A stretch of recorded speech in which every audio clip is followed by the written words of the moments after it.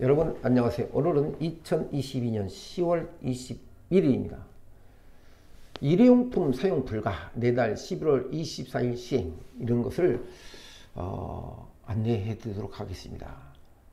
자, 여러분도 잘 아시겠지만 대한민국 플라스틱 다시 말해서 봉투 생산량과 소비량이 어떻게 되신지 아시는 분 계시 얼마나 되실지 궁금합니다.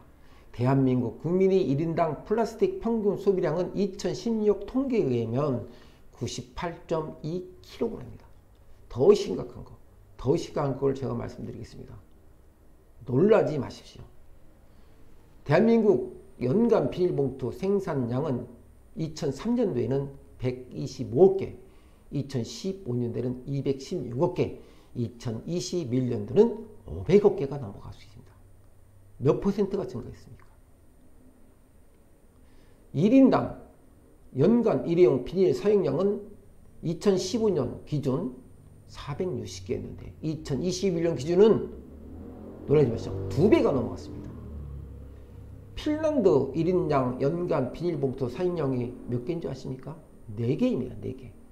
우리는 200배의 차이가 200배. 이런 비닐봉투를 사용하면 지구가 썩습니다. 온난화가 됩니다. 제가 유튜브에 올린 내용을 보시면 잘 아시겠지만 지구 온난화의 원인이 이런 플라스틱으로 인한 생산되는 과정에서 생기는 것이 더 심각하게 지구 온난화를 발생시키고 있습니다. 플라스틱으로 인한 환경 오염이 또 하나 놀라지 마십시오. 미세 플라스틱으로 오염된 지역이 세계 2위와 3위가 어딘 줄 아십니까? 대한민국입니다. 대한민국. 인천과 낙동강. 인천은 세계 2위, 낙동강은 세계 3위입니다. 인천은 한강물을 따라 흘러갑니다. 결국 서울이 세계 1위와 같다는 것이죠. 얼마나 심각한 일입니까? 대한민국 사람은 매주 신용카드 한 개, 칫솔 한 개의 미세 플라스틱을 섭취한다고 합니다. 이것도 세계 3위입니다. 2019년 통계에 가면. 심각합니다. 여러분, 마지막으로 제가 또 하나 심각한 걸 말씀드리겠습니다. 일회용 플라스틱을 생산하는데 5초 걸리고 사용하는데 5분, 분해하는데 500년이 걸린답니다. 야, 그래서 우리도 빨리 발벗고 나서야 됩니다. 한국경제 돈 내도 비닐봉투 못 산다고 편의점 벌써 돈나 이렇게 나왔습니다.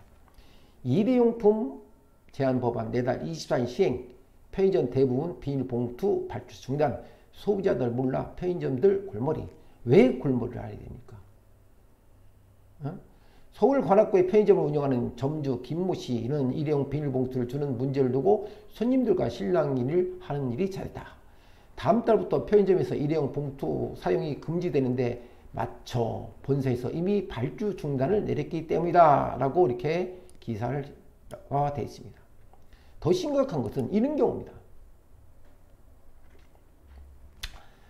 보통 비닐봉투는 매장에서 20원에서 100원 주고 판매하고 있었다고 합니다. 저는 비닐봉투를 전혀 사용하고 있지 않습니다.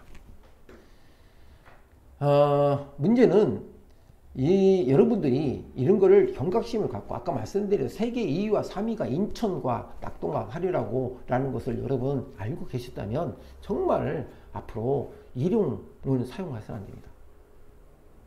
기존 대형마트에서 등에서 편의점 재개점까지 규제가 넓어졌으며 만약 비닐봉투 판매 또는 무상 채권 사실이 벽발되고 최대 300만원까지 과태료를 물 수 있다. 식당, 카페에서는 물론 일용 종이컵, 빨대, 야구장에서는 일회용 비닐 응원봉 사용이 금지된다 이렇게 됐습니다.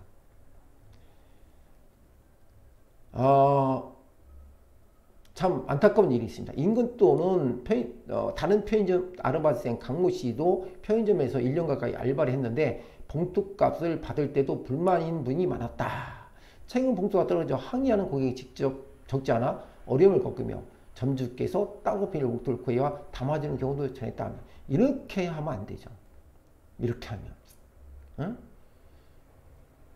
자, 자, 이런 분도 있었군요. 직장인 최모 씨는 정부의 친환경 정책 취지는 공감하나 다행 봉투 가격 500원도 매번 산다고 하면서 부담입니다. 사람들이 장바구니나 다행 봉투 챙기를 깜빡하는 경우가 많고 그때마다 매번 다형 봉투를 살 텐데 이 또한 환경 오염이 아닌가 일회용 봉, 비닐봉투 규제가 얼마나 실효성 있을까 하는 생각이 든다라고 지적했다. 그런데 저는 이렇게 생각합니다. 이건 우리가 너무 편리하게만 살아서 그래요. 충분히 장바구니라든가 다행 봉투를 재활용할 수 있는 그런 생각 마인드를 갖고 있다면 이런 것은 우리가 지구 오염을 환경 오염을 예방하는데 적극적으로 이것은 한 사람만이 해결할 것이 아니라 모든 사람들이 전 세계 모든 특히 대한민국도 2위와 3위를 미세먼지 플라스틱을 인천과 낙동강에서 발생하는 지역을 갖고 있는 그 수치스러운 것을 갖고 있으면서 어떻게 당장 이 편의점, 편의점만 생각하셔야 됩니까? 정부나 이런 새, 어? 썩지 않는 이런 비닐봉투 이런 걸 빨리빨리 재개발해서 기업이라든가 개발해서 국민들에게 편리함을 제공하는 것은 당연한 일이지만 지금 당장 우리가 해야 될 것은 이런 제도에 대해서 적극 따라주고 환경 오염을 예방하는데 참여를 해 주셔야 된다는 겁니다. 다시 말씀드립니다. 일회용 플라스틱 생산하는 데는 5초, 사용하는 데 5분, 분해하는 데 500년이 걸린다. 이것은 누가 앞으로 우리 후세들이 이런 고통스럽고 힘든 삶을 살 수 있다는 것입니다. 여러분, 제 생각이 여러분과 함께 공감이 갔으면 하는 바람이 간절합니다. 오늘은 어, 한국 경제 돈 내도 비닐봉투 못 산다고 편의점부터 편의점 벌써부터 혼란 안혜원 기자가 쓴 글 가지고 어, 미세 플라스틱이 얼마나 심각한 것인지 여러분에게 함께 여러분과 함께 했습니다. 대한민국 플라스틱 생산량이 전 세계 2위 1위라는 걸 잊지 마시고 함께 동참해 주시고 어, 제가 말씀드린 대로 지구가 아프면 초록색이 사라집니다. 함께 해주셔서 고맙습니다. 구독과 좋아요를 눌러주시고 많은 분들이 이걸 수 있도록 공유 부탁드리겠습니다. 안녕히 계십시오.